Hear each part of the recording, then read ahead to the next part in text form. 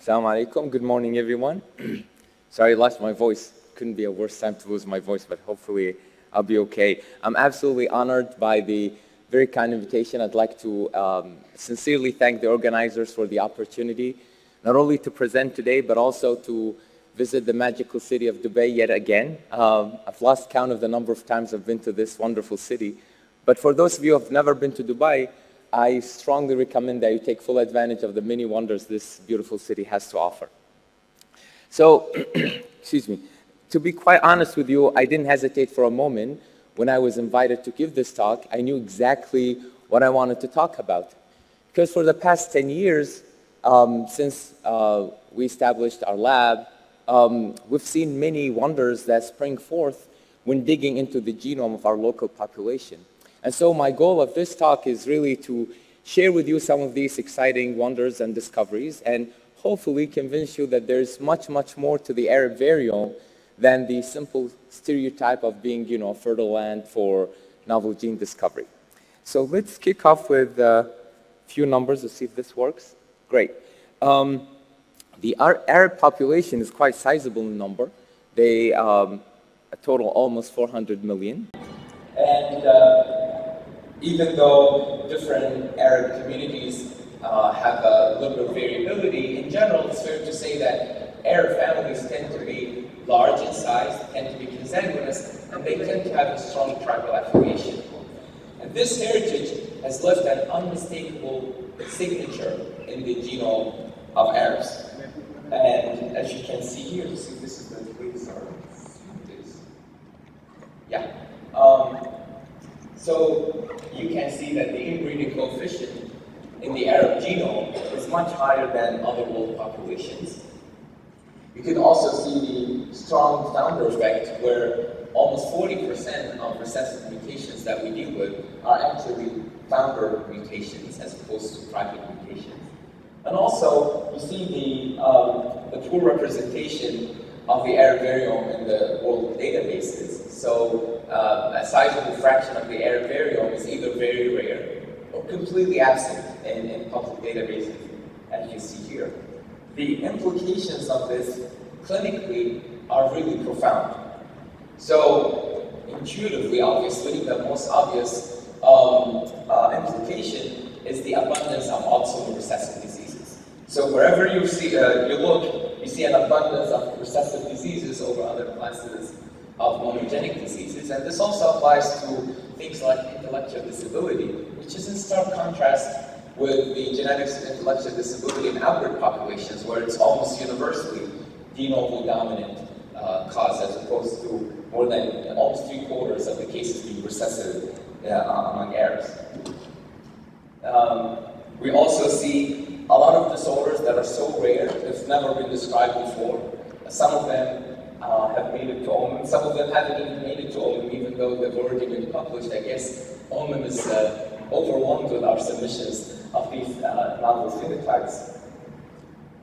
Um, and also you see this, um, um, the effect of this common heritage. Sometimes you see it limited uh, at the level of tribes, like you know this what we call the Shaheen syndrome specific tribes from southern Arabia, and some are truly pan-Arab, like the Woodhouse-Sakati syndrome, the Temtamy syndrome, and the 883 related intellectual disability syndrome. You see them across all tribes that originate from Arabia. In fact, these two variants alone, these two founder variants alone, account for more than 2% of all cases of intellectual disability uh, among indigenous Arabs. And then, course, you have the all too common problem, which we'll handle in a few minutes, um, that Arab patients have unfairly paying the price of not being well represented in public databases, where they're very likely to receive a genomic report, be, be West uh, whole exome sequencing or whole genome sequencing, where the variant is unknown, of unknown significance and who's, who's shown that the vast majority of these can easily be reclassified as benign um, if we look at the local Arab variant.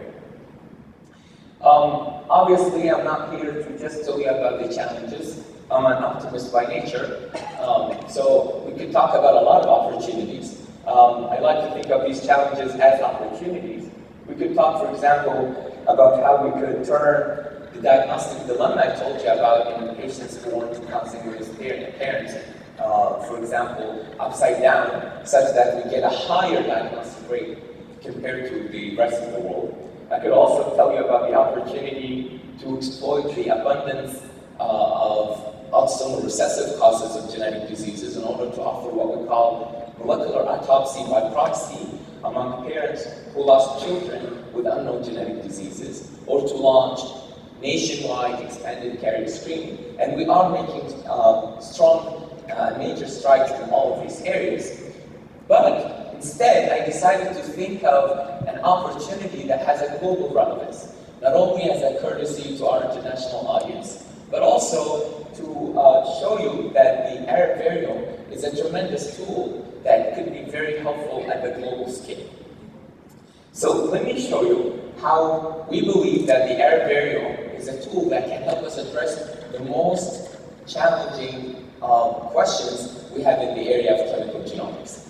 And by that, I'm really referring to the issue of variant interpretation, the biggest bottleneck we're facing right now in the delivery of clinical genomics. So, how could Arab variome help us? Well, um, let's first examine the current state of affairs. We do know quite confidently that a bunch of variants are benign. We're able to classify them as such. And a bunch of variants are clearly pathogenic. Again, we're comfortable with that. But there's many, many more variants that we're unable to classify properly. So how do we get to a future where we're able to shrink that unknown to a minimum? Remember, I said minimize, and I didn't say eliminate. We will always get novel variants introduced in the human gene pool thanks to our mutable human genome. But at least we could minimize it so we can have clear answers to our patients most of the time. Well, if you present this problem um, to a data scientist, perhaps the first answer that data scientist will give you is, oh, that's easy. Let's just do artificial intelligence, right?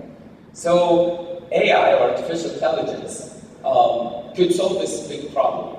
And to their credit, artificial intelligence has really come a long, long way from the early days uh, of its development. It has um, it, it be the world champion, human champion in chess, Jeopardy, and most recently, the game Go. And I don't know if you're following the evolution of artificial intelligence, but this was a landmark uh, step in the evolution of artificial intelligence where the AI was capable of learning the game, the complex game Go, on its own. It kept playing itself until it mastered it and it beat all the world's champion in, in this game without human intervention whatsoever.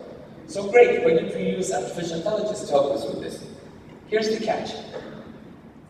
Unlike the game Go, which has a very clear set of rules, variant interpretation is nothing like that. So variant interpretation is a very complex process. And even though we like to think that we've come up with some rules, anybody who works with variant interpretation would understand that we have, for all, for each of these rules, we have many, many exceptions, which makes it really, really difficult for an AI to take over. Um, we don't consider every common variant to be benign, right? We have exceptions. We don't consider every truncated variant to be pathogenic. We have exceptions, and so on and so forth. And so it seems to me that the solution is really to um, accrue a critical mass of data where we do understand these rules and their exceptions in order for us to reach that critical stage where the AI, uh, an AI solution will be possible. And obviously, the way we can accrue this empirical data is through a global effort. It's a global endeavor. Each one of us is doing his or her best to collect those empirical data because nothing is as important as observing the, the, the phenotype in an actual patient and knowing his or her um, um, uh, genotype. Now, what I will try to convince you is that the Arab variome is an extremely helpful tool that will accelerate the accrual of, of, of these empirical data, and that will help us reach that um, goal of reaching a critical stage where an AI solution would be possible to solve this problem. So, what kind of magic does the Arab offer in order to accelerate the process? Uh, I will focus on one particular um, feature of the Arab which is autozygosity. Remember I told you about the inbreeding coefficient being very high. And in essence, when we talk about the power of autozygosity, we're talking about two powerful phenomena that are gifted to us by autozygosity. One is the power of homozygosity, enhanced homozygosity, and the power of lamb. And um, just to remind you, uh, when we talk about autozygosity, we're talking about the dual inheritance of a common ancestral haplotype as a result of consanguinity, which has to be uh, which is quite common uh, among Arabs, um, or even through the tribal affiliation. So not only do you get enhanced homozygosity, but you're able to trace it thanks to the process of recombination. So you know exactly where your variant is, even if you don't have a clue what that variant might be, especially if you have a favorable pedigree structure like this. So let's put these two features to test and see how they can be extremely helpful in solving the mystery of variant interpretation. Obviously, the first thing that comes to mind, I know, is um, novel gene discovery. I'm not going to disappoint you, so let's get this out of the way. Let's start with it. Um, and I would like to put it in perspective to see what we mean by high throughput. It is truly high throughput. It's amazing amazingly high throughput. So, to put it in perspective, uh, most of you, if not all of you, are familiar with this flagship project in the UK. It's an incredible uh, uh, project in the UK called the DDD project. It's really a role model for nationwide uh, organization and collaboration. Um, and they published the results of their data on children and families with intellectual disability and developmental delay. And I want you to pay attention to the numbers. We're talking in, in combination more than 7,000 families. They were able to identify 14 novel genes. Okay? These are the 14 genes that they published in that paper from 7,000 families, right? Now, look at this. In this paper, we simply looked at 133, not 1,000, not 500, 133 families that are pre-screened for novel genes, so enriched for novel gene discovery. We were able to identify 69 novel genes, okay? And even if you didn't have any pre-selection whatsoever, like in this paper, we, we simply screened every child with developmental delay and intellectual disability. In just 300 families, we were able to identify 35 novel genes. And more recently, in this paper where we studied the first 1,000 families who were referred for molecular testing for all kinds of suspected genetic diseases, we were able to highlight more than 70 novel genes. Now that's high throughput. And just to put it in perspective, remember, the minute we identify a gene and establish it as a novel disease gene, we are making it easy for patients around the world who have variants in those genes to get a proper molecular classification upon which clinical decisions can be based. But by the same token, that power of homozygosity allows us to reclassify variants the other way around, right? And so, because autozygosity is like the powerhouse of generating homozygous variants, we are much more likely than anywhere else in the world to observe homozygous individuals for variants claimed to be pathogenic. And if these individuals lack the phenotype claimed to be part of those um, variants, then we could at least challenge the pathogenicity of those variants. And that's precisely what we did here we were able to reclassify thousands of variants previously claimed to be pathogenic at the AGD database or the ClinVar database. now, here's the catch with this approach, and I'll explain it in, in a few illustrative examples, which I think is really exciting. So, many of you are probably familiar with the tricky story of a condition called thrombocytopenia absent radius syndrome, or TAR. This is a condition you never get as a result of homozygosity. You always get it as a result of compound heterozygosity for one uh, truncating variant in RBM8A and one mild variant in the same gene. Right? Now, if you have parents who are both carriers of the mild variant, you're not going to counsel them, oh, you have a 25% risk of having an affected child. We know this because homozygotes for the mild variant are completely healthy, right? And we all, the only way we know this is because of, of direct observation of homozygotes in the general population. Now, in a way, we were lucky with this example because even though that mild variant is low frequency, it was frequent enough for us to observe those Q square, you know, those homozygotes in, in large databases. But just imagine, what if your variant was so rare, you're going to have a prohibitive uh, sample size in order to get those Q square. That's where autozygosity comes in handy because it doesn't operate based on Q square, it operates in a completely different manner. And I'll show you one illustrative example uh, to make my point. So this is um, a condition called Shwachman-Diamond syndrome. It's a condition, it's a, um, a syndromic form of bone marrow failure, right? And this is, this guy, this uh, uh, splicing variant, is the single most causative mutation in Shwachman-Diamond syndrome.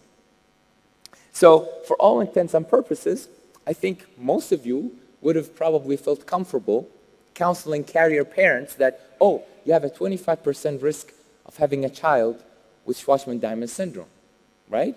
Um, now, remember, this variant is so rare, there's no way you're going to see homozygotes in public databases, even as large as ExAC database, for example. However, in our database, which is nearly two orders of magnitude smaller than gnomAD, we were able to see two homozygotes for this variant, right? And so, again, because of that autozygosity. So we figured, great, we diagnosed two children with Shwachman-Diamond syndrome. Except when we evaluated them, they did not have any feature of Shwachman-Diamond syndrome. How is that possible?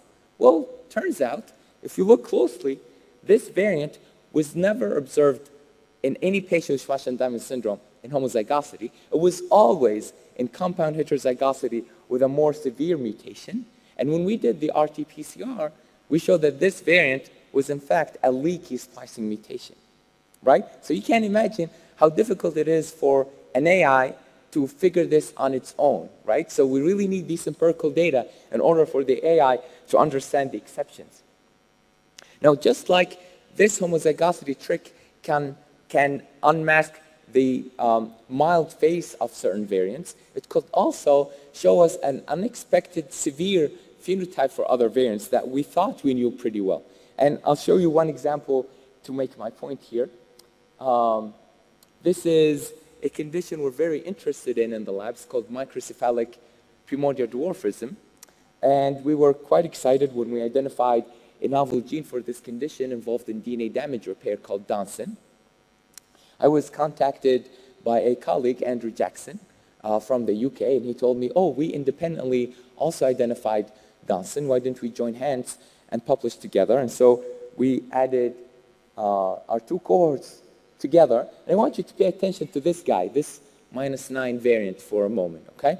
Anyways, in collaboration with uh, uh, Grant Stewart, who's an expert in DNA damage repair, uh, we showed that DONSON is really important in the replication fork, and loss of DONSON causes significant DNA damage, which we think is the mechanism for primordial dwarfism. So everything made sense, paper was tentatively accepted, happy story, right?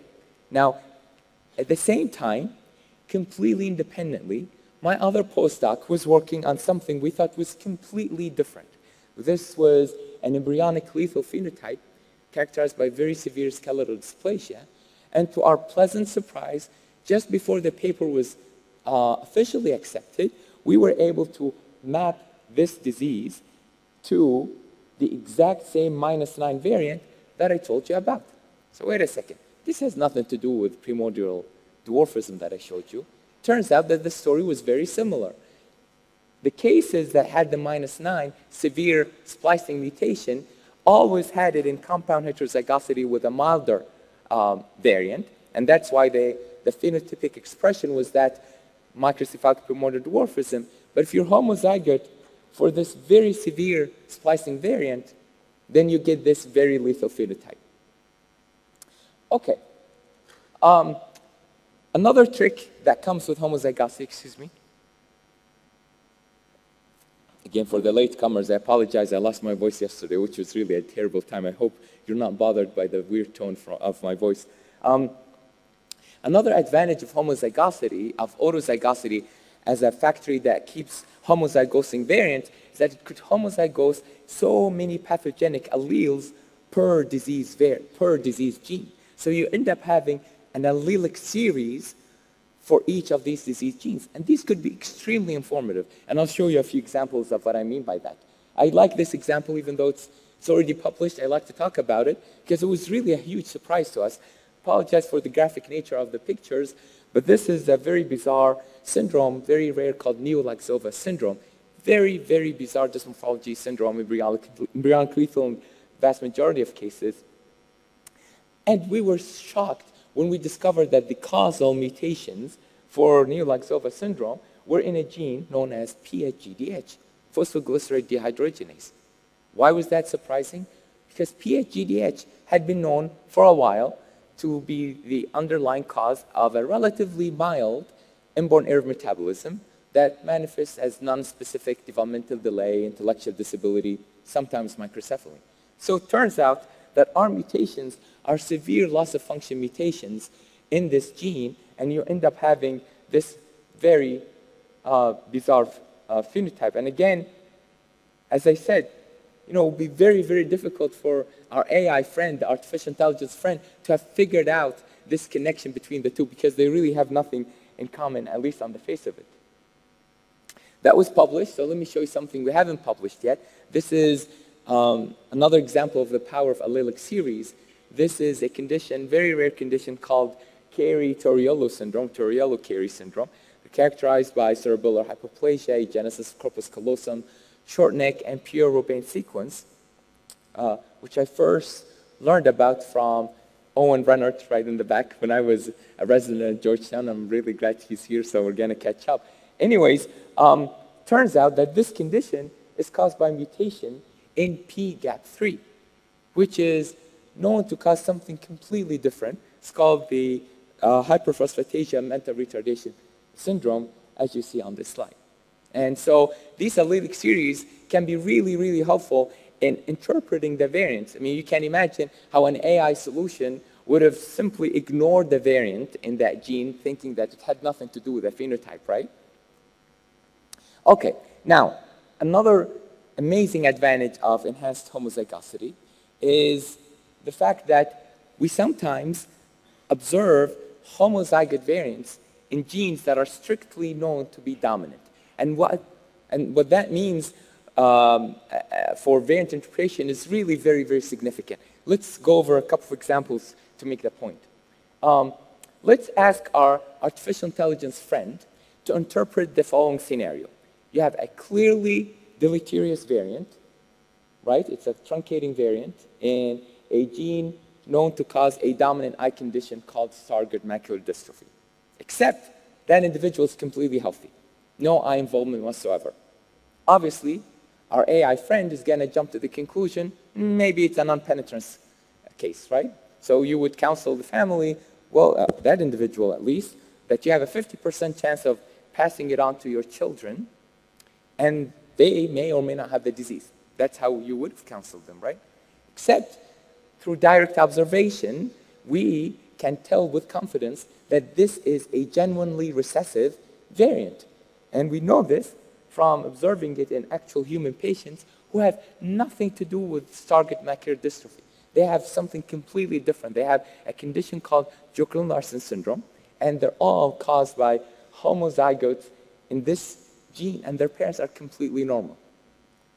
So now you know how to interpret a variant in this gene in someone who's normal. It's genuinely recessive. Very, very different from the other counseling uh, scenario that I told you about. Another more recent example is this. This is a child who was referred to me. His parents just gave up. You know, he has a form of myopathy and he had every test under the sun, including clinical exome sequencing. And no one could figure out what he had. And I remember writing in my notes after evaluating him that most likely he has a mutation in a novel gene involved in extracellular matrix or ECM remodeling.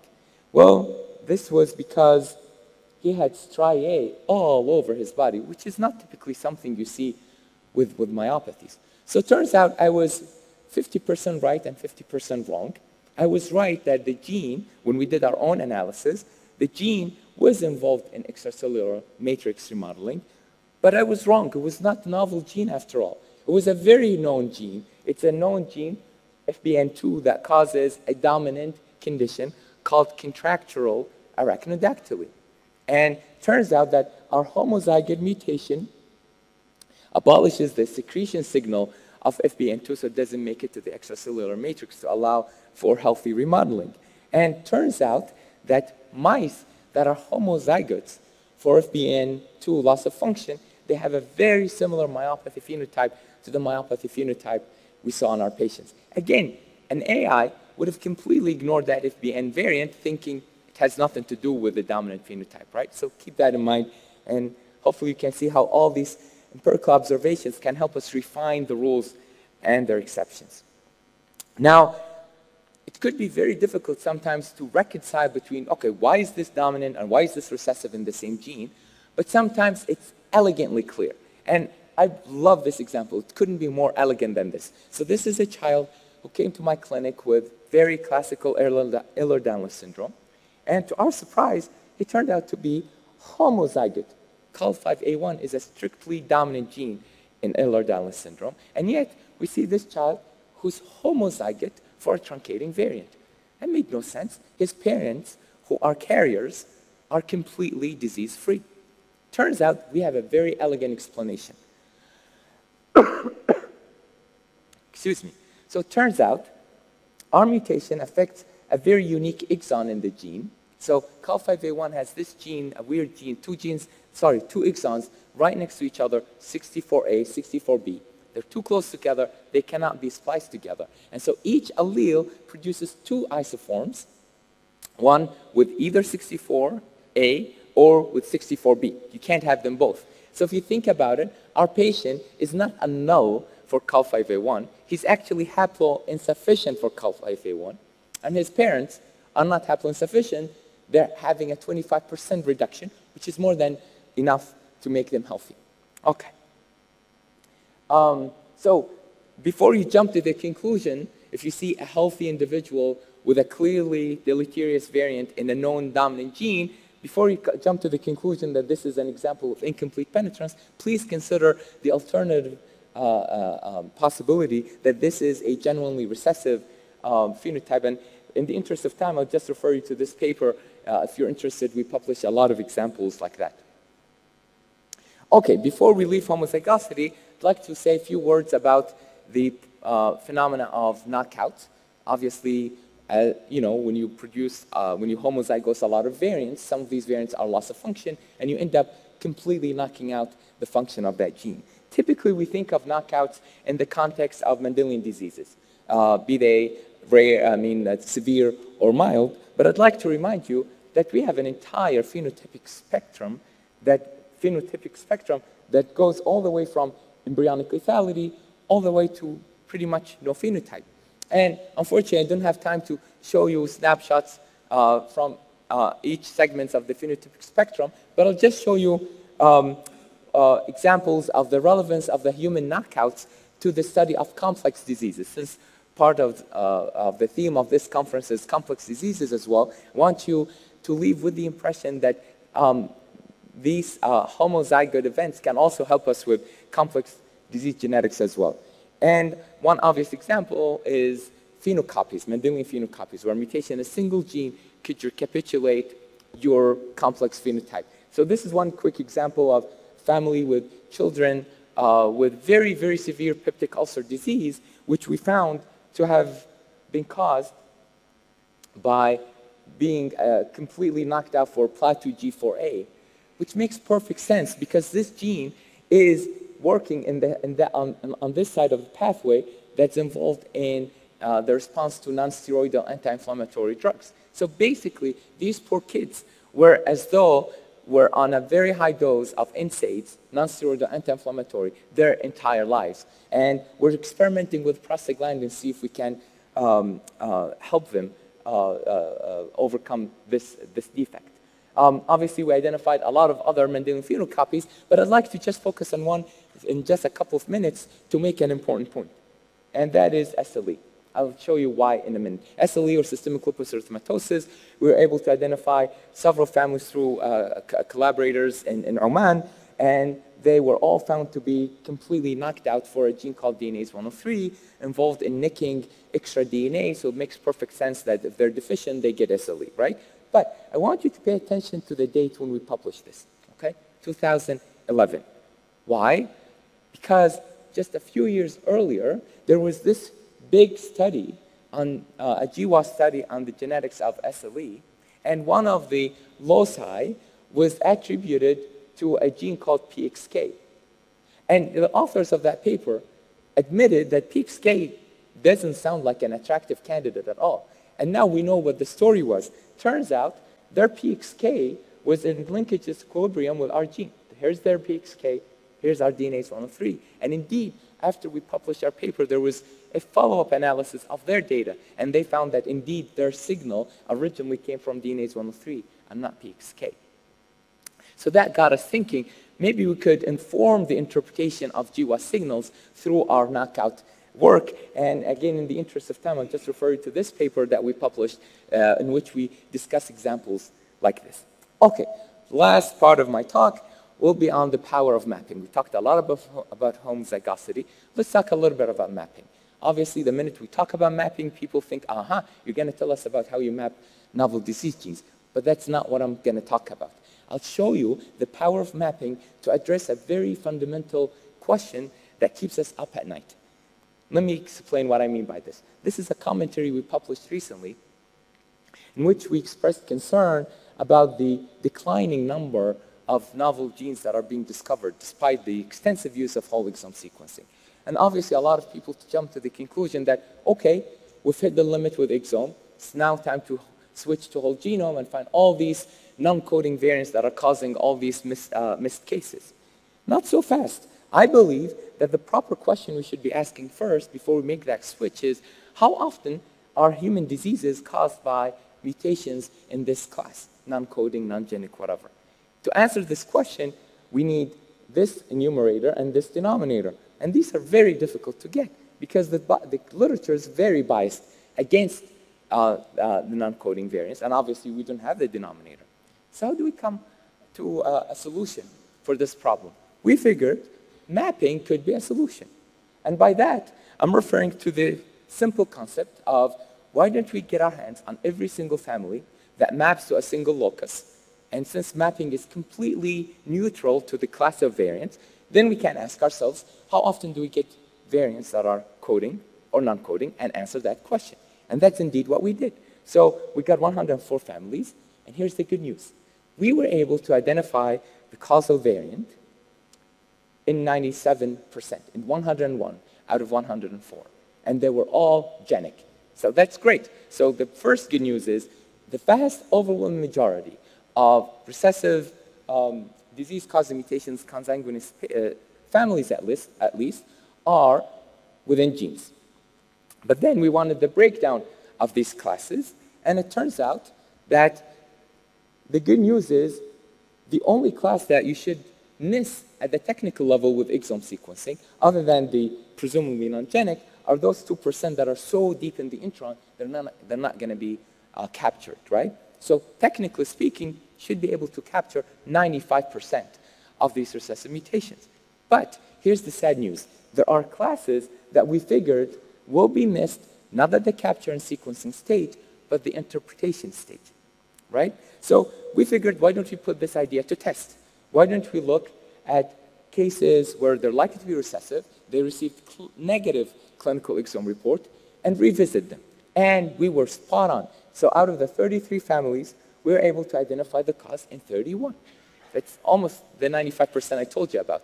So of course the question you're all going to ask, why were they missed in the first place? It turns out, as we said, it was all about interpretation. So a big chunk of them was because they were in, an, in novel genes. And current algorithms are just so bad in identifying mutations in novel genes. Novel genes are really, really difficult. They're very challenging. Any of you who works in this field would attest to this.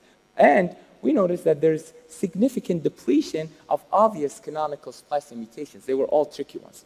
So in a couple of minutes, I'll just go over a few examples of these cases and how we solve them with the power of mapping to make the point. This is a family with microcephalic primordial dwarfism with negative clinical exome sequencing. And we found that we could easily map them to a single locus in which there is RTTN, in which we identified a plus 8 splicing variant. And um, after that, we were able to identify several other families with mutations in this gene. To me, this is not a double whammy. It's like a triple whammy for an AI. Why? Because A, this gene, um, uh, the variant is not a canonical splice site, and we're really bad in interpreting these non-canonical splice sites. B, this gene, if you were to look at the mouse model, would be useless because the mouse model has left-right asymmetry, nothing to do with the microcephalic primordial dwarfism. And C, Bill Dobyns had published this gene as a cause of polymicrogyria, which is also very different from the phenotype we're observing. Again, would have been very, very difficult for an AI to come up with this variant. Uh, but we're hoping these empirical data will help refine it. Here's a variant that's so deep, minus 23, this family had negative whole genome sequencing, which missed this variant. But our record breakers, really these families from a certain area in Saudi Arabia, who all present with Walker-Warburg syndrome, and they're like a nightmare to diagnostic labs, because no matter what you do for them, it's always negative. And the reason is they all have this founder mutation, almost minus 400 base pairs deep, um, and it causes Walker-Warburg syndrome uh, in, in, in, these families. And so we immediately screen for this variant whenever we have a family from that part of the country. Two more variants that are tricky in a different way in just a few seconds. This variant was missed in all of these children because it was consistently predicted to be benign at the amino acid level. But with the power of mapping, we were able to find that this is the most likely variant, and indeed, it turned out to be pathogenic at the RNA level. So who knows how many of these missense variants that we're ignoring because they appear benign, but in fact they're doing their magic through, through splicing.